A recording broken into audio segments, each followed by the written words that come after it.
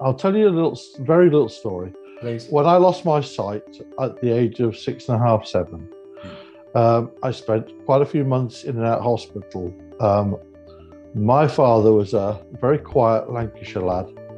Um, and when he spoke, you tend to listen. Mhm. And he said to me one day, he said, Lad, you may be blind, but we still have a farm to run. We all have adversity. We all will come up against things. But you know something? Only we can do something about it. We can sit and mope about it. I could sit and think, woe is me. But is it going to give me a career? No.